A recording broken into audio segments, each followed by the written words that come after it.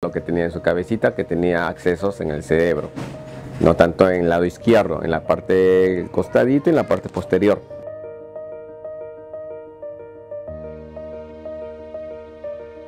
Básicamente, gracias a Dios, tengo un trabajo que es flexible en el horario. Mis trabajos es mayormente a partir de las 5 de la tarde hasta las 9 de la noche.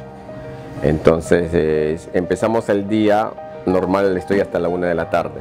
Todo, todos los días acá, como si se todo mi mundo es galeta muy aparte de ser una responsabilidad, es una alegría, no es algo bonito, es, una, es algo que es, es parte de ti.